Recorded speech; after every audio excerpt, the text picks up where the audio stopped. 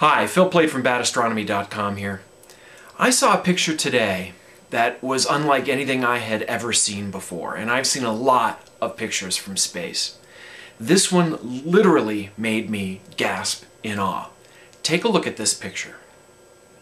What you are seeing here is the Phoenix Mars lander descending to the surface of the red planet underneath its parachute. This picture was taken by the Mars Reconnaissance Orbiter, the HiRISE camera on board, a very high resolution camera. Look at this picture. We have seen how many pictures of Mars taken from the surface, how many of the surface taken from orbit, but we have very rarely seen our own machines on the surface, a couple of times, and they're amazing. But this picture, this, this one's special. This is showing Phoenix on its way down.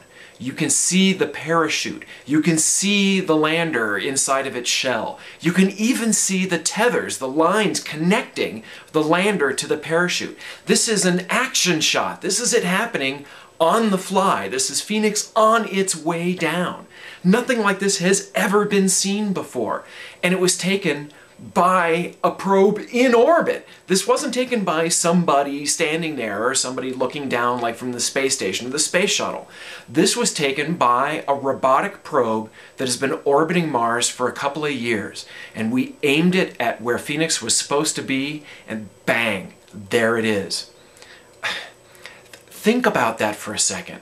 Mars was almost 280 million kilometers away, 170 million miles away. There are no humans anywhere near that. We're all here on Earth.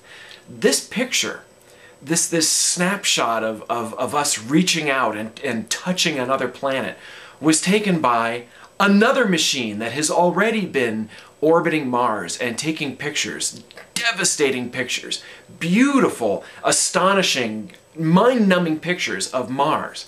It's already shown us that Mars is another world, an, an alien planet that we have been able to go to.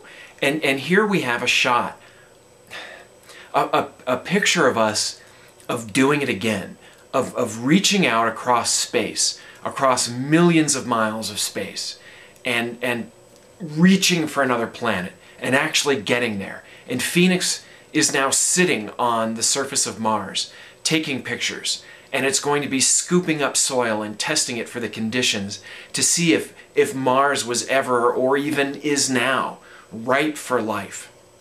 This, this is what we do. This is what science does, but this is what people do when we try. And Phoenix was based on a mission that didn't make it, the Mars Polar Lander. There was some sort of engineering problem. But Phoenix was based on that engineering, but they tested it. They didn't give up. They tried again and again. They got it working and they got it right because they're smart people.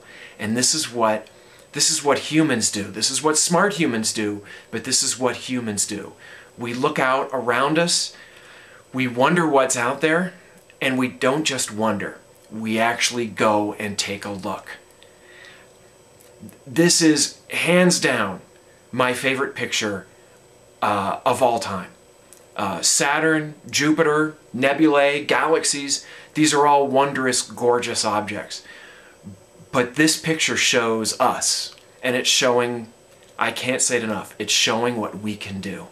So take a look at this picture and think about what we can do, and think about what you can do. And you know, there's a lot of things to worry about right now. There always is going to be something to worry about.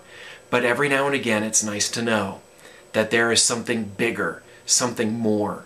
And if we try and we really, really want to do it, we will.